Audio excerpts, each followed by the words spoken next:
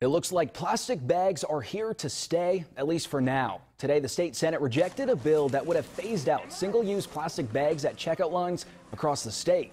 The bill would have eventually banned the bags at grocery, drug, and convenience stores. It had a lot of support from business groups that wanted to eliminate a patchwork of policies in California. More than 70 local governments across California already prohibit those bags.